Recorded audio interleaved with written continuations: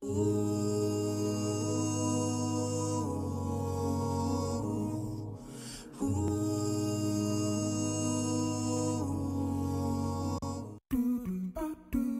ตภัณฑ์เสริมอาหารฟาวิดเสริมสร้างภูมิคุ้มกัน ป้องกันเชื้อไวรัส ฟาวิด بسم الله الرحمن الرحيم الحمد لله رب العالمين والصلاة والسلام على أشرف الأنبياء والمرسلينวะอะลาอาลิฮิวะซอบิฮิอัจมาอีนอัมมาบะดุอัสสลามุอะลัยกุมะเราะห์มะตุลลอฮ์วะบะเราะกาตุขอต้อนรับท่านผู้ชมทุกท่านนะครับ เข้าสู่ช่วงเวลาของสารานุกรมประวัติศาสตร์นะครับ รายการนี้เรามีนัดกันทุกวันจันทร์และวันอังคาร 10นาฬิกาถึง 10นาฬิกา30นาทีนะครับและวันนี้เรายังคงอยู่ในเรื่องราวของท่านนบีดาวุฒอะลัยสลามนะครับ ซึ่งเมื่อวานนะครับเราคุยกันเกี่ยวกับเรื่องของท่านนบีดาวุฒเนี่ยบอกว่าท่านเนี่ยเป็นเชื้อสายของท่านนบี อิบรอฮีมอะลัยสลามนะครับผ่านทางท่านนบีอิสฮากนะครับแต่สายรายงานของท่านเนี่ยมีขาดตอนไปบางช่วงนะครับ นบีดาวูดเนี่ยต้องบอกว่าเป็นบันิสราเอลท่านหนึ่งเหมือนกันนะครับ แต่ว่า ในช่วงที่ท่านเกิดเนี่ยคือช่วงนั้นเนี่ยบันิอิสราเอลก็เริ่มที่จะอ่อนแอแล้วนะครับ ในยุคก่อนหน้านี้ยูชะบินนูนนะครับได้พาบันิอิสราเอลรุ่นเยาว์นะครับที่ข้ามทะเลแดงมาเนี่ยแล้วก็ตอนนั้นพวกนี้ยังเด็กอยู่หรือว่าคลอดในขณะที่เกิดในป่าที่พวกรุ่นพ่อรุ่นแม่เนี่ยได้หลงทางอยู่นะครับ เสร็จเรียบร้อยก็พาบันิอิสราเอลเข้า เข้าสู้รบกับพวกชนท้องถิ่นนะครับ ก็คือเผ่าอมาริกอนะครับ ซึ่งตัวใหญ่มากนะครับ แล้วก็ร่างกายแข็งแรงบึกบึนเนี่ยซึ่งคนรุ่นพ่อรุ่นแม่เนี่ยบอกนบีมูซาว่าท่านกับพระเจ้าของท่านเนี่ยไปรบเถอะพวกเราจะนั่งรออยู่ที่นี่นะแต่ว่ายูชาบินนูนก็ปลุกใจนะครับ พวกเด็กๆ แล้วก็เข้ายึดไบตุ้นมักดิสได้นะครับ ทีนี้ต่อมาเนี่ยระยะเวลาผ่านมาเนี่ยบันิอิสราเอลซึ่งยูชาบินนูนได้แบ่งการปกครองเป็นมณฑลแล้วก็ให้แต่ละมณฑลก็มีกษัตริย์ปกครองตนเองเนี่ยมันจะมีตำแหน่งหนึ่งนั่นก็คือตำแหน่งผู้ที่ทำหน้าที่ตัดสินปัญหานะเหมือนกับเป็นฝ่ายอาณาจักรกับฝ่ายของศาสนาจักรนะครับ โดยฝ่ายศาสนาจักรเนี่ยก็เรื่องของพิธีกรรมทางศาสนานะ ทีนี้พอ ฝ่ายของบันิสราเอลอ่อนแอนะอามาลิกอสที่บอกว่าตัวใหญ่บึกบึนเนี่ยเขาก็เหมือนกับเป็นศัตรูเป็นหอข้างแคร่ของบันิสราเอลอยู่ตลอดเนี่ยและระยะเวลาระหว่างมูซากับยุคของนบีดาวูดเนี่ยห่างกันประมาณ 365 ปีนะซึ่งก็นานนะก็มีอยู่ครั้งหนึ่งนะบันิสราเอลเนี่ยก็พ่ายแพ้ต่ออเมาริกอนนะครับที่อุสดูดนะครับซึ่ง ที่นั่นเนี่ยในปัจจุบันก็ใกล้ ๆ กับกอซานะครับที่ปาเลสไตน์นั่นเองนะครับพ่ายแพ้เนี่ยก็ทำให้หีบแห่งพันธสัญญาที่บันิอิสราเอลพาไปไหนด้วยเนี่ยก็ถูกอเมริกอนเนี่ยยึดไปนะแต่ของเขาเนี่ยเขาไม่ได้เชื่อในท่านอบีมูซาอยู่แล้วนะครับ เพราะฉะนั้นเขาก็เอาหีบของเขาไปรวมกับรูปรูปเจเวตต่างๆนะก็ทำให้บันิสรออินเนี่ย เศร้าโศกเสียใจเวลาที่เห็นหีบแห่งบรรทัดสัญญาที่เป็นเหมือนกับศูนย์รวมทางจิตใจของพวกเขาเนี่ยได้ได้ถูกยึดไปนะครับซอมูเอลเนี่ยก็บอกกับบันิสรออินบอกว่า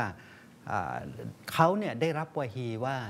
ให้สถาปนากษัตริย์ขึ้นนะครับ เหมือนกับเป็นกษัตริย์แห่งกษัตริย์ของบันิสรออินเพื่อ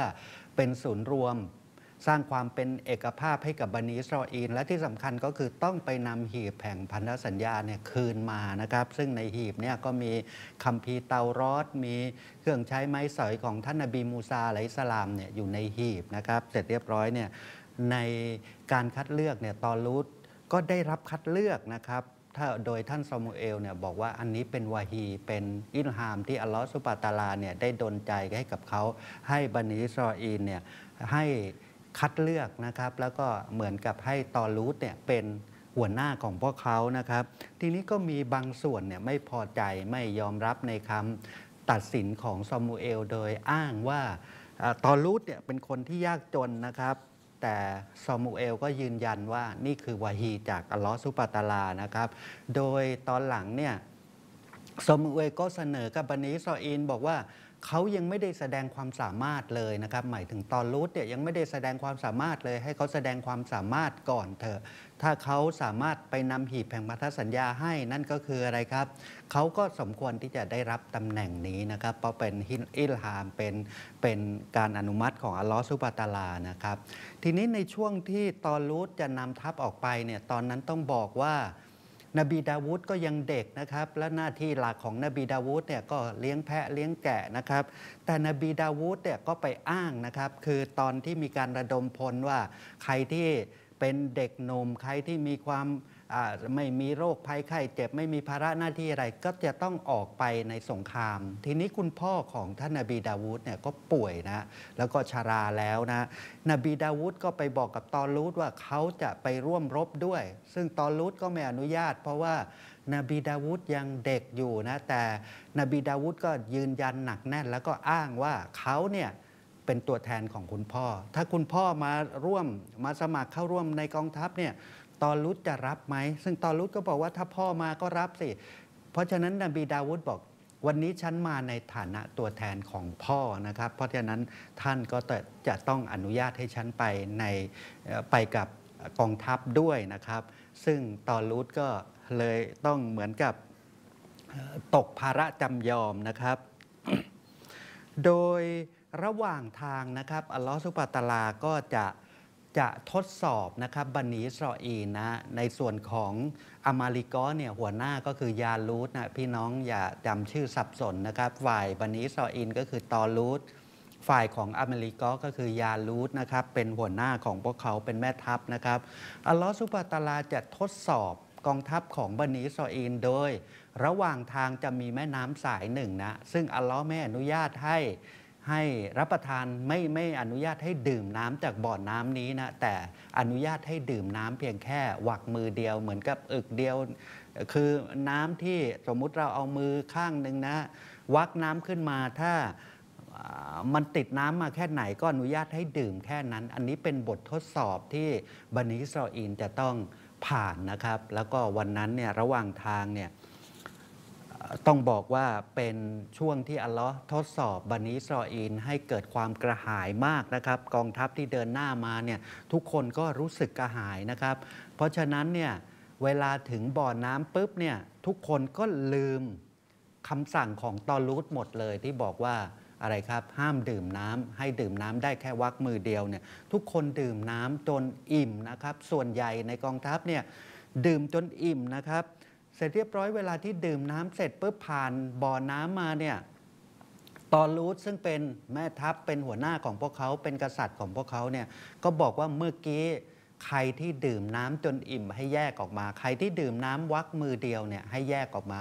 แต่ว่าเหลือจำนวนน้อยจริง ๆ แล้วหนึ่งในคนที่ดื่มน้ำเพียงวักมือเดียวเนี่ยก็มีดานบีดาวุธอยู่ด้วยนะครับ ทีนี้เวลาที่ที่กองทัพเผชิญหน้ากันเนี่ย โอ้โห ต้องบอกว่าตอนนี้บันิอิสราเอลเสียขวัญมาก เนื่องจากตัวก็เล็กจำนวนก็น้อยกว่า ในขณะที่ฝ่ายของอามริกอตัวก็ใหญ่จำนวนก็เยอะกว่า โอ้โห พวกอามริกอก็ฮึกเหิมนะ ว่าบันิอิสราเอลที่จะมารบกับพวกเขาเนี่ยมาเพียงแค่ถ้าอาจจะใช้คำพูดที่เข้าใจง่าย ก็คือมาเพียงแค่หยิบมือเดียวเนี่ยจะมาชนะพวกเขาได้ไงในเมื่อพวกเขาเนี่ยทั้งตัวใหญ่กว่าอาวุธก็เพียบพร้อมกว่าแถม จำนวนก็เยอะมากกว่านะครับ โดยตอนรูทก็พยายามปลุกใจทหารของตัวเองว่าชัยชนะเนี่ยที่อัลเลอฮ์กำลังจะมอบให้เนี่ยมันมาจากศรัทธาไม่ได้มาจากจำนวนของจำนวนของทหารหรือม,มันไม่ได้ขึ้นอยู่กับอาวุธ แต่มันขึ้นอยู่กับการช่วยเหลือของอัลลอฮ์สุบะตะลานะครับ ในขณะนั้นเองเนี่ยยาลูดเนี่ยก็มีการออกมาท้าทายนะครับ คือสงครามในอดีตเนี่ยจะรบกันได้เนี่ย อาจจะต้องมีการประลองกันตัวต่อตัว เหมือนกับในสมรภูมิบันดัตเนี่ยกว่าจะรบกันได้ในขณะที่ทัพทั้งสองฝ่ายเผชิญหน้ากันเนี่ยก็มีการท้าทายกันนะ อย่างเช่นในสมรภูมิบันดัตที่พี่น้องเคยทราบมาแล้วเนี่ยก็ให้ฝ่ายมุสลิมนะครับกับฝ่ายมุชริกมักกะเนี่ยส่งตัวแทนมาฝ่ายละ 3 คน อันนี้ก็เหมือนกันยาลุดก็บอกว่า เรามาประลองกันตัวต่อตัวก่อนดีกว่า ถ้าพวกท่านชนะเนี่ยเป็นไงพวกเราจะกลับเลย ซึ่งยาลูดที่ตัวใหญ่กว่าเนี่ยก็โอ้โหฮึกเหิมมากนะครับ ทีนี้ในกองทัพเนี่ยนบีดาวูดเนี่ยก็เข้าร่วมด้วยนะในฐานะตัวแทนของบิดาของท่านนะครับ แต่ยาลูดก็พยายามบอกให้ทหารของตัวเองคนที่มีความสามารถเนี่ยออกมาเผชิญหน้ากับยาลูดนะแต่ว่าไม่มีใครกล้าออกมาเลยนะครับ ทีนี้ยาตอนรูดเนี่ยก็โอ้โหเสียหน้าฝ่ายนู้นก็หัวเราะชอบใจนะครับว่าฝ่ายนี้ไม่มีใครกล้าเลยเนี่ยตอนรูดก็พยายามกระตุ้นนะครับกระตุ้นทหารของตัวเองนะครับ โดยบอกว่าถ้าใครออกมาเนี่ยจะยกลูกสาวให้นะครับ จะยกลูกสาวให้และแถมอะไรครับ ก็จะยกทรัพย์สมบัติให้อย่างมากมายเลยนะ แต่ว่าก็ยังไม่มีใครกล้านะครับ ท้ายที่สุดนบีดาวุธที่บอกว่าเป็นเด็กตัวเล็กเนี่ยก้าวออกมายืนข้างหน้านะซึ่งทำให้คนทั้งกองทัพเนี่ยตกใจมาก เพราะดาวุธเองเนี่ยถึงขนาดที่บอกว่ายังเป็นเด็กแล้วก็ยังตัวเล็กเนี่ยถึงขนาดที่ดืถือดาบไม่ไหวนะคือผมก็จินตนาการดาบในสมัยก่อนนะก็คือว่าเขาอาจจะทำดาบที่ยาวแล้วก็ใหญ่เพื่ออะไรครับ เพื่อให้เวลาฟันศัตรูเนี่ยเหมือนกับโดนมือข้างนึงเนี่ยคงจะขาดเลยนะ เพราะว่า อาจจะเป็นเหล็กที่ใหญ่แล้วก็หนักมากนะถึงขนาดที่เวลาที่เราอ่านประวัติศาสตร์เนี่ยซาบะบางท่านเนี่ยถือดาบเนี่ยถึงขนาดที่เท่าตัวของเขาเองอะ่ะถ้าเป็นเป็นซอบะตัวเล็กๆนะแสดงว่าดาบในอดีตเนี่ยตัวใหญ่นะบีดาวุธเองก็ถือดาบไม่ไหวนะครับ เสร็จเรียบร้อยเนี่ย ดาวุธก็บอกกับตอรูดบอกว่าฉันสามารถต่อกรกับยารูดได้ ได้โปรดอนุญาตให้ฉันสู้กับเขาเถิดโอ้แม่ทัพ และกษัตริย์ผู้ยิ่งใหญ่ก็ขอต่อยารูดนะแต่ไอ้ตอรูดนะแต่ตอรูดก็พยายามห้าม เพราะว่าดาวุธเนี่ยไม่มีไม่ไม่ได้ยังเป็นเด็กและที่สำคัญก็คือไม่ก็ไม่เคยออกรบ ไม่เคยฝึกซ้อมอาวุธมาก่อนนะครับ ถึงขนาดที่ดาวุธก็ยืนยันว่าตัวเองเนี่ย สามารถสู้ได้นะครับ แล้วก็พอเวลาที่ตอนรุดเอาเกราะเอาเสื้อเกราะมาให้ใส่เนี่ยผลปรากฏว่าดาวุธใส่ไม่ได้นะเสื้อเกราะมันตัวใหญ่เกินไป มันก็ทำให้ดาวุธเนี่ยเคลื่อนไหวไม่สะดวกนะครับ จะส่งดาบให้ก็ถือไม่ไหว ซึ่งตอนรุดก็พยายามห้ามดาวุธนะดาวุธก็อ้างเหมือนเดิมนะครับ บอกอะไรครับ เขาวันเนี้ย มาในฐานะตัวแทนของคุณพ่อนะครับ ถ้าพ่อฉันเนี่ยออกมายืนแบบฉันเนี่ยท่านจะอนุญาตไหม ซึ่งตอนรุดก็บอกว่าถ้าเป็นพ่อของเจ้าเนี่ยอนุญาต ดาวุธก็บอกว่า เพราะฉะนั้นวันนี้ฉันยืนในฐานะของตัวแทนคุณพ่อท่านก็ต้องอนุญาตนะ โดยนบีดาวุธบอกว่าตอนที่เขาไปเลี้ยงแพะเลี้ยงแกะเนี่ยเขาสามารถที่จะฆ่าสิงโตหมาป่า แล้วก็หมีควายที่จะมากินแพะแกะของเขาเนี่ยเขเขาเคยจัดการมาแล้ว เพราะฉะนั้นยาลูดเนี่ยไม่คารนามือเขาหรอกโอ้โหดาวุธก็เป็นยังไงครับ ก็ก็ยืนหยัดนะท้ายที่สุดเนี่ยต่อรูดก็ต้องอนุญาตนะครับ โดยดาวูดก้าวเข้าหาต่อยาลูดเนี่ยด้วย ก้อนหินแล้วก็หนังสติ๊กเท่านั้นนะแต่หนังสติ๊กของอาหรับเนี่ยเราอาจจะไม่เหมือนของเรานะที่เป็นง่ามไม้ไผ่สองแฉกเนี่ยอาจจะไม่เหมือนกับของเรานะดาวุธก็ก้าวข้ามไปเนี่ยเพื่อจะไปสู้กับยาลูดด้วยหนังสติ๊กกับก้อนหินนะครับในขณะที่ยาลูดเดินพงาดถือดาบมาหัวเราะด้วยความมั่นใจว่ายังไงเนี่ยเด็กน้อยคนนี้ก็ไม่สามารถชนะเขาได้หรอกด้วยความประมาทนะครับ ในขณะที่เขาเดินมาพูดเยาะเย้ยถากถางนบีนบีดาวุธต่าง ๆ นานานะครับ เพื่อจะข่มขวัญศัตรู ในขณะที่ทัพของตอรูดก็โอ้โห ตอนนี้กำลังเสียขวัญกันหมดนะ เพราะเวลาโอ้โหเด็กตัวนิดเดียวไปสู้กับผู้ใหญ่แล้วก็แถมไม่ใช่ผู้ใหญ่ธรรมดานะ ผู้ใหญ่ที่ตัวใหญ่กว่าปกติด้วยนะครับ เสร็จเรียบร้อยขณะที่ ยาลุดกำลังเผลอและก็กำลังประมาทต่อดาวุธที่เป็นเด็กน้อยเนี่ยดาวุธก็ซัดก้อนหินเข้าใส่หน้าผากของยาลุดในขณะที่ยาลุดไม่ทันตั้งตัวเลยนะครับ ผลปรากฏว่าก้อนหินถูกซัดไปอย่างแรงนะครับ ยาลุดที่ว่าตัวใหญ่เนี่ยล้มหงายท้องเลยนะครับ ซึ่งตอนนั้นนั่นเองนะครับ นบีดาวุธก็วิ่งเข้าไปหายาลูดที่กำลัง ล้มลงนะครับกำลังเสียท่าเนี่ยแล้วก็ใช้ดาบของยาลูดเองนะครับ ตัดคอยาลูดนะครับ แล้วก็ทำให้บนีอิสรออีลที่เห็นภาพว่านบีดาวูดเนี่ยถึงแม้จะเป็นเด็กตัวเล็กๆเนี่ยก็ยังอะไรครับสามารถล้มยาลูดได้เลย เพราะฉะนั้นเนี่ยบนีอิสรออีลก็ฮึกเหิมนะครับ ถึงแม้จะน้อยกว่าก็วิ่งเข้าใส่กองทัพของยาลูดทันทีนะครับ กองทัพของยาลูดที่กำลังเสียขวัญนะตกใจกับเหตุการณ์ที่เกิดขึ้นว่า เด็กน้อยตัวนิดเดียวสามารถสังหารแม่ทัพของเขาได้เป็นไงครับ ก็ทำให้ทัพของอามาลิกอแตกกระเจิงเลยนะครับ แตกกระเจิงเลยผลปรากฏว่าบันิซออีนก็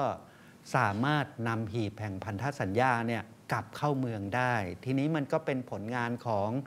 ดาวูดเนี่ย คนก็ชื่นชมและก็สรรเสริญดาวูดเนี่ยในขณะที่ปกติเนี่ยถ้ากองทัพไปที่ไหนได้รับชัยชนะกลับมา คนที่จะได้รับความชื่นชมเนี่ยก็จะเป็นแม่ทัพนะแต่ครั้งนี้คนที่ได้รับความชื่นชม และก็ถูกผู้คนกล่าวขวัญถึงมาก นั่นก็คือดาวุธนั่นเองนะครับ ทีนี้ตรงนี้นี่เองที่เมื่อวานผมบอกกับพี่น้องว่ามันก็มีเรื่องเล่านะว่า พวกยุโรปเนี่ยก่อนที่เขาจะ ออกเรือมาแล้วก็ล่าอาณานิคม ล่าดินแดนต่างๆเนี่ยเขาก็เขียนเรื่องราวของนบีดาวูดเนี่ยนะเพราะว่าต้องบอกว่าเรื่องราวของยาฮูดีนาซอรอเนี่ยไม่ว่าจะเป็นยิวคริสและก็อิสลามเนี่ยมันมีรากมาจากจากจากจากพระเจ้าองค์เดียวกันนะครับ เพราะฉะนั้นเรื่องราวของดาวุธหรือเดวิดเนี่ยก็ถูกเล่านะครับในในในส่วนของ ยาฮูดีและก็นอซอรอด้วยนะครับเขาก็มีการเขียนเรื่องราวนะในรูปของแซมสันที่ไปชนะโกไลแอดนะครับก็ทำให้ประชาชนของเขาเนี่ยฮึกเหิม เพราะฉะนั้นตอนหลังยิ่งเขาสามารถผลิตปืนไฟได้ในขณะที่ชนพื้นเมือง ยังใช้ไม้แหลมใช้ธนูในการต่อสู้เนี่ยเขาก็สามารถพิชิตดินแดนต่างๆนะครับ ล่าในนิคมได้อย่างง่ายดายทีเดียวนะ อันนี้ก็มีมีผู้ที่ บอกว่าอันนี้ก็เป็นหนึ่งนะครับในในการที่อวรรณกรรมเนี่ยมาใช้ในสงครามนะครับแล้วก็เป็นต้องบอกว่าเป็นความสำเร็จด้วย ทีนี้เวลามีเสียงชื่นชมนบีดาวุฒกันมากนะครับ ก็ทำให้เกิดอันตรายกับนบีดาวุฒทางอ้อมเหมือนกันนะครับ ทีนี้ตามที่ยาลูดได้ประกาศไว้เนี่ยบอกว่าใครที่สามารถสังหารยาลูดได้นะครับ จะยกลูกสาวแล้วก็ยกยกทรัพย์สมบัติให้อย่างมากมายเนี่ยพอนบีดาวุฒสามารถสังหารศัตรูได้สามารถสังหารยาลูดได้เนี่ยนบีดาวุฒก็ได้สมรสกับเจ้าหญิงนะครับ ซึ่งเป็นลูกสาวของตอรูทที่ชื่อว่ามีการนะครับสามก็ได้รับ จัดการจัดงานอภิเษกสมรสให้นะครับตามที่ตอรูทได้ประกาศไว้ในสงครามนะคืออาหรับเนี่ยเขาเขายึดในคำพูดมากนะครับเขารักษาสัจจะมากเนี่ยเขาก็เป็นไงครับ ก็จัดการแต่งงานให้ถึงแม้ดาวุฒตอนนั้นยังเป็นเด็กก็ตามนะครับ แล้วก็ผู้คนก็นึกสรรเสริญนะครับ ทีนี้เวลาที่นบีดาวุฒเริ่มโตบโตมาเนี่ยก็เข้ารบในสงครามนะครับ ผลปรากฏว่าทุกสงครามที่ดาวุฒเข้าร่วมเนี่ยได้รับชัยชนะหมดเลยนะครับ โอ้โห ทีนี้ผู้คนก็ยิ่งชื่นชมสรรเสริญนบีดาวุฒโดยคนก็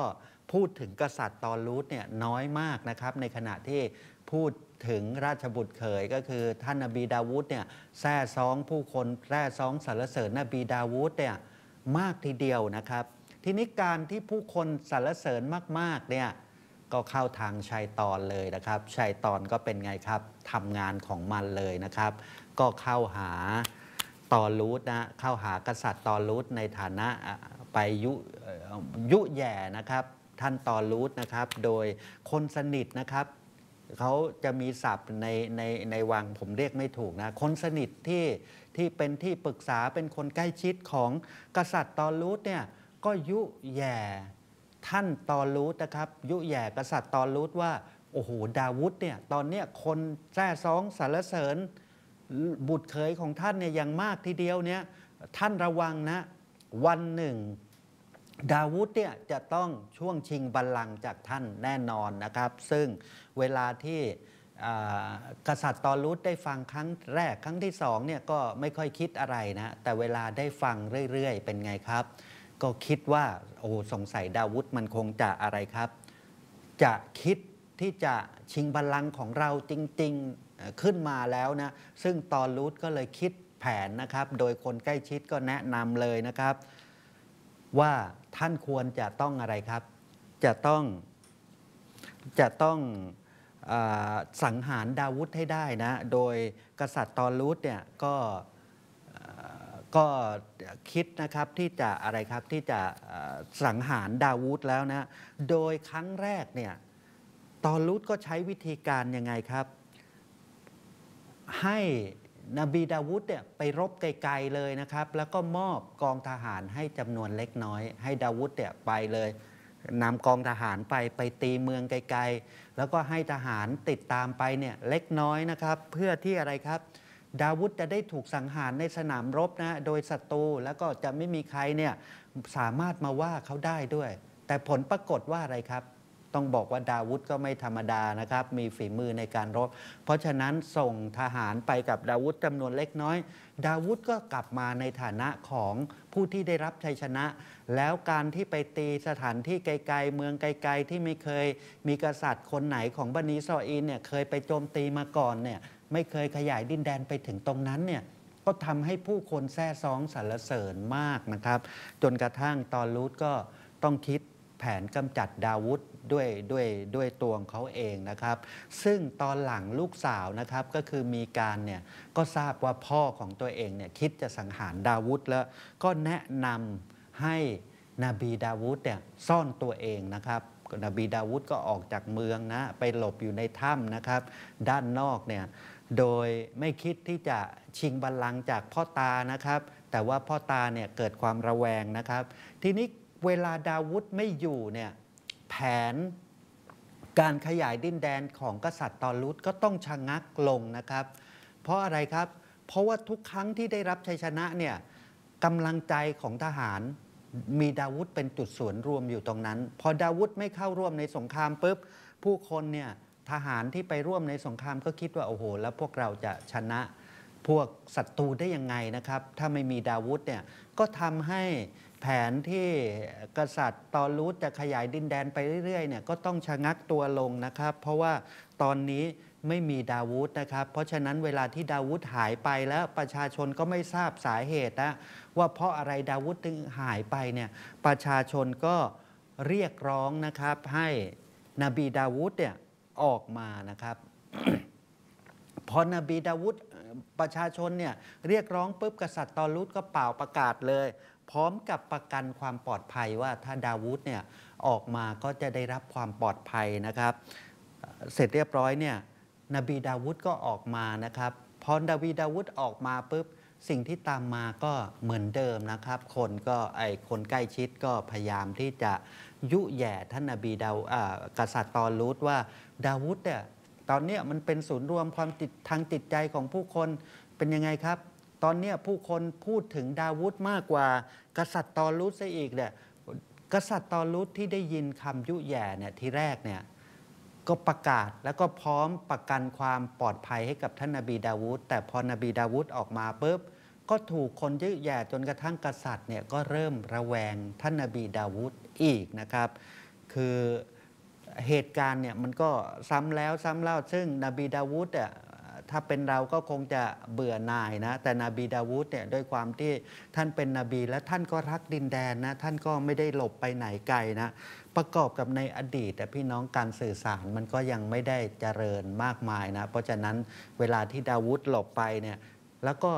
มันไม่มีรูปถ่ายนะ ไม่เหมือนน่ะคนก็อาจจะชื่นชมสรรเสริญนบีดาวุธจากชื่อเสียงของท่านนะ แต่ว่าไม่เคยเห็นหน้าค่าตา เพราะฉะนั้นแค่แค่ดาวุธ เปลี่ยนเครื่องแต่งกายไปปะปนกับผู้คนเนี่ยที่เขาไม่รู้จักเนี่ยบางทีคนก็ไม่รู้จักแล้วว่าคนที่กำลังสนทนาด้วยเนี่ยเป็นใครนะครับ อันนี้ก็เป็นเรื่องราวของท่านนบีดาวูดนะแต่เรื่องราวของนบีดาวูดเนี่ยพี่น้องครับยังไม่จบแค่นี้นะ แต่มันยังมีเรื่องราวที่น่าสนใจอีกนะครับ เนื่องแต่ด้วยกับข้อจำกัดของเวลานะครับ วันนี้เรื่องราวกำลังตื่นเต้นทีเดียวนะครับ และตอนนี้ดาวุธก็เริ่มเติบโตเป็นหนุ่ม แล้วก็ต้องบอกว่าเป็นนักรบที่เก่งนะครับ ไปตรงไหนก็ชนะตลอดนะครับทำให้ประชาชนเนี่ยเรียกร้องดาวุธว่าดาวุธเนี่ยควรจะอยู่ในกองทัพแล้วก็เป็นแม่ทัพนำ พวกเขานะครับแล้วก็เพื่อประกาศศักยภาพของบันิอิสราเอลเนี่ยก็เหมือนกับถ้าต้องการจะขยายดินแดนเนี่ยก็ต้องอาศัยฝีมือของท่านนาบีดาวูดนะพี่น้องครับสารานุกรมประวัติศาสตร์นะครับ เรามีนัดกันทุกวันจันทร์และวันอังคารนะครับ 10 นาฬิกาถึง 10 นาฬิกา 30 นาทีนะครับ ก็ฝากพี่น้องติดตามด้วยนะ ก็ตอนนี้มีพี่น้องเข้ามาชมหลายท่านทีเดียวนะครับ ก็ฝากพี่น้องกดไลค์กดแชร์ด้วยนะ วันนี้ผมขออนุญาตลาพี่น้องเลยนะครับوبالله التوفيق والهداية والسلام عليكم ورحمة الله وبركاته Ooh.